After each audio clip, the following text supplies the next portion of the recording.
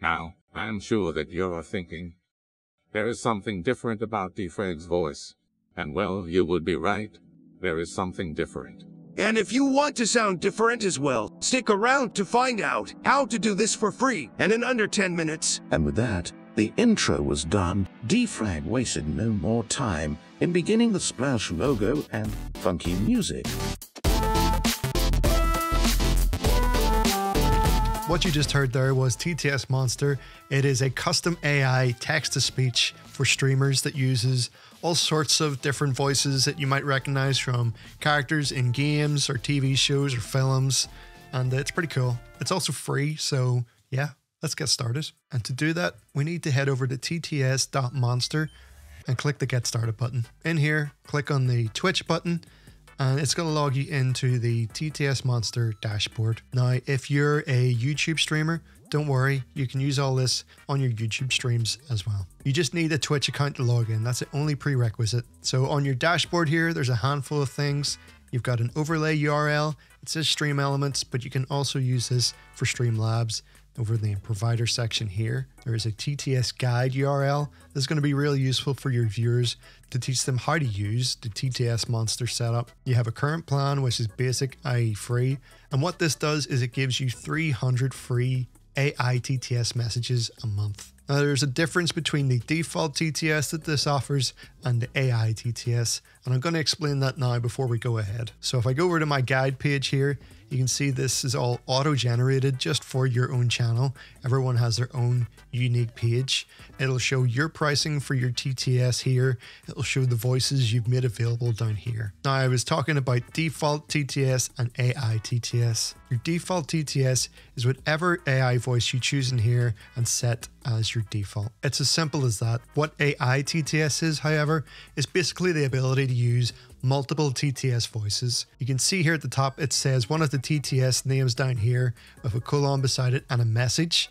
And then immediately it changes color into a different name from down here. You can see chills and another message. So you use this formatting to put in multiple voices. So if you wanted to do a TTS where lots of different uh, characters were talking to each other and talking to the streamer, you could do that with the AI TTS. Otherwise, if someone sends something that meets the minimum for the default Brian TTS, you can see it here, it says Brian in inverted commas, it's going to use the default AI voice that you've set, not the Brian voice. So if you run out of these credits before the end of the month, you don't need to worry because you'll still have whatever voice you've set in default to take care of the rest of the TTS for the month. Hopefully that makes sense. Down here we have the alert settings and this is basically how the TTS is going to be activated. You can use it with tips, bits, resubs, it's really up to you. You have a minimum for your default and a minimum for your AI. That's as simple as it gets. And since you know what those both are now, you know what this means. Down here at the bottom, there is a delay. And this is so that you don't clash with the audio in your actual alerts because you're going to use this alongside whatever your Streamlabs or Stream Elements alerts currently are. Below this is just all the voices that we saw over on this page as you make them available on here and hit save and refresh over here, you're going to see them pop up. So the first thing we want to do is actually connect this to your Streamlabs or your Stream Elements, whichever one you're using your alerts with. In this case, I'm going to do Stream Elements first, and then I'll show you Streamlabs. Head to your Stream Elements dashboard, and in the top right hand corner, click on this icon and click on your name. It's going to show you your channel page here, and it's going to have this thing here says show secrets. Click on that, but keep this to yourself because it's it's a secret. There's going to be a JWT token right here. You just want to highlight all of that. Make sure you have it all highlighted, copy it, and head back to your dashboard. And you can see in here it says Stream Elements JWT token. That's exactly what we just grabbed. Paste that in here and click on that save button. For Streamlabs, it's really straightforward as well. Just click on the drop down menu, select Streamlabs, and then you want to head to your Streamlabs dashboard. Now over here, right at the bottom, click on settings. And in settings, we want to go to API settings right here. Click on API tokens and you're going to have a socket API token right here. As soon as you click this, it's going to show it. So do not do this while you're live on stream or at a birthday party or your retirement party, whatever it is. Make sure you're seeing this and only you're seeing this. Head back to the dashboard. This will be selected as Streamlabs and you just paste it in there. It's the same story. Once you've done that, hit save and you're good to go. Now, before we start testing all the sounds, we actually want to turn off TTS in our alert providers. So we're going to do that for Stream Elements and then Streamlabs. On your overlays page in Stream Elements, you want to select the alerts package that you're using and hit edit. I'm using the amused alerts from Nerd or Die and they are pretty good. From here, we want to head to where our settings are and we want to find our alerts. I have subscriber alert here. And if I go into that, scroll right down, I could see TTS settings, click on that and just make sure this is unchecked. You want to do this for your subscribers, your tips, and your cheer alerts. And once you've done that, make sure that's all good. Click on save up here. And that's all of the TTS deactivated for your Stream Elements alerts. For Streamlabs, head to the alert box page and in here, go to your subscriptions, scroll down here, and you're going to see a resub message text to speech. Just make sure that's disabled and click Save Settings. Do the same for your donations. You scroll down, text to speech settings, and do the same for your bits. Looking good.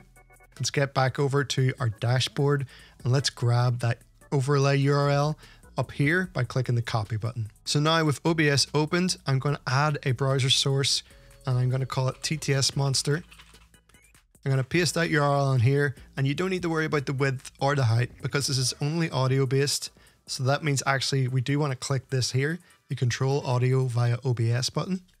Make sure that's checked, hit OK, and next, we're going to start testing these alerts. Now, you can test them in Streamlabs in your own way. I can't seem to see a way to custom generate a message within Streamlabs, but I can do that in Stream Elements. So if you are testing it in Streamlabs, you can use your recent events, try and find an event where you have met the minimum criteria to use TTS Monster and just click on the message itself and rerun the alert. But I'm going to do my final test here in Stream Elements. So I'm going to click on Emulate in my alerts overlay, head up to tip event in the custom.